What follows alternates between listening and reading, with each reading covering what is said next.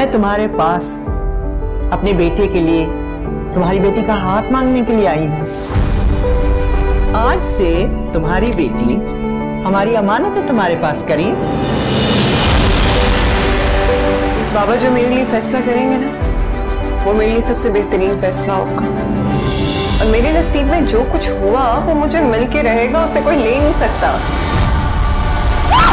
कुछ बाजियाँ जीतने के लिए जल्दबाजी से नहीं, चालबाजी से काम लेना पड़ता।